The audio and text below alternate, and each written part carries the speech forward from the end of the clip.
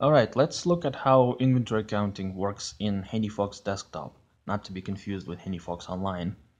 As you can see, my device is assigned to the Warehouse 2 site, so this is where I'm going to be counting inventory. There is a way you can switch between sites, but at any given time, you can only see or work with inventory at one site. So let's go to inventory and then inventory counting and it's already showing us some counts. This is what the system thinks we currently have on hand. And you can see there is a column for the new quantities that you have counted. You can enter counts by hand here from the on-screen keyboard, but typically you would want to scan product barcodes for accuracy's sake when possible.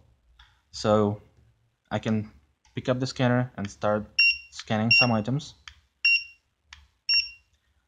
and as you can see every time I scan any item it increments its count by one and records it into the new quantity field. So at this point if I want to reset everything I've done and start over I can hit the clear button and that will revert everything I've done and uh, give me a clear counting session again. So no results here whatsoever. I can count something else then and at this point if I need to uh, take a break stop counting inventory and go do something else I can do that either by using the save button or just leaving the screen and it will ask you uh, whether you want to save changes. And if you save you can then go back to this same counting session and all the counts you have already entered will be there. You can also print out the counting results at any point through the counting session via the print button. So if I switch to the letter sized printer here, we can see how it looks. Hopefully you can see that on camera. Also this full inventory count feature allows you to zero out everything and set everything to zero besides the items you have counted. So this is useful when you want to count absolutely everything you have on hand and have everything else be set to zero. So as you can see, after I turn this on, everything gets set to zero except what I have counted. This one, uh, you see the quantity on hand is rather large, so depending on your workflow, you may not want to scan all 90-ish pieces one by one. So what I'm going to do is just enter the quantity by hand, and let's say we have found one piece more than we thought we had all right and this assembly here let's say we've only found nine pieces instead of ten. And as for this item I wanted to show you one more mechanic in HandiFox one more thing. Um, so this barcode here increments the quantity by one but I also happen to have unit of measure sets turned on in my QuickBooks company so what I can do, uh, let's say this item also comes in boxes of 50. So I can assign a separate barcode to such a box of 50 and when I scan it, it will increment the, the count by 50 pieces at a time. So I have this barcode just off screen here, so if I scan it, it increments the quantity by 50 and that barcode is different from the barcode for the single piece that I have right here. So let's say uh, that in the warehouse we have found three full boxes and then eight more loose pieces. So this is two less than we than what we expected to find. And finally, when you have counted everything you wanted to count and uh, ready to finish, you can hit apply and that will finalize the session. And next time you synchronize, it will submit it for approval, which is the next point I'm going to discuss. By default, uh, new counting sessions need to be reviewed and approved by someone on the desktop computer. So that's what we are going to look at next.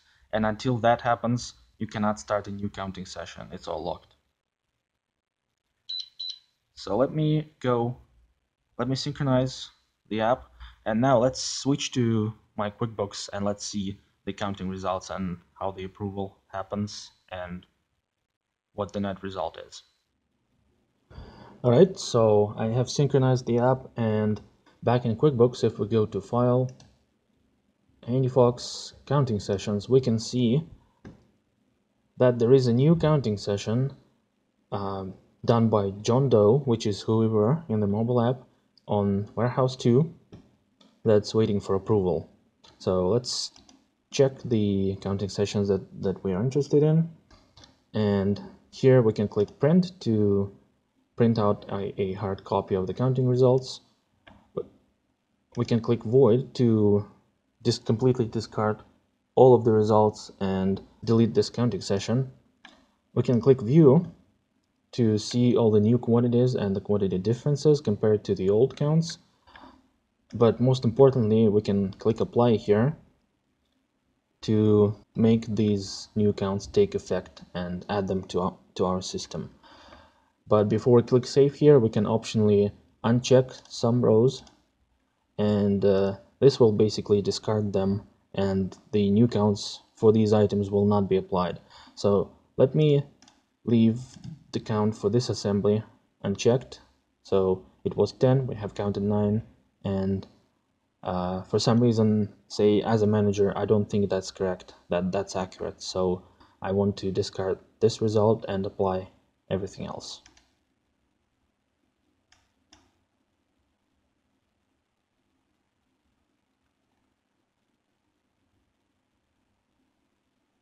Right and there are no more counting sessions. So um, let's look at our quantity on hand viewer and see how the new counts look. So right now remember we were counting inventory on warehouse 2 so we are not interested in warehouse 1 right now. So this item had 160 currently it has 158 this one was 89 and now we have counted 90. And this one was 10, we have counted 9, but I have discarded the new count for it, so it's still at 10. And if we go to and, and try to see the same counts in QuickBooks, we can do that because I happen to have multiple inventory sites in this company file. So I think this is one of the items we have counted.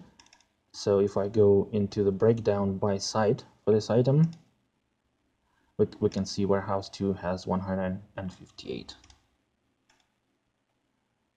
And the other one I think was this one.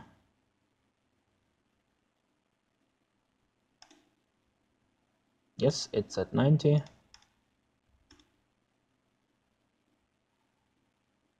And the assembly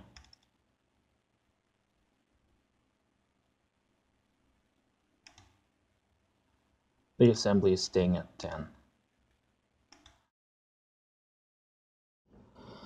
And lastly, I wanted to talk a little about how you can parallelize inventory counts and count inventory from multiple devices concurrently. So let's say two workers have been counting inventory in warehouse 2 at the same time going through different sections of the warehouse, uh, each using their own mobile device and they have found and counted the same item. So one of the workers have found 18 pieces in their respective part of the warehouse and the other found 23. So you have two counting sessions from each of them.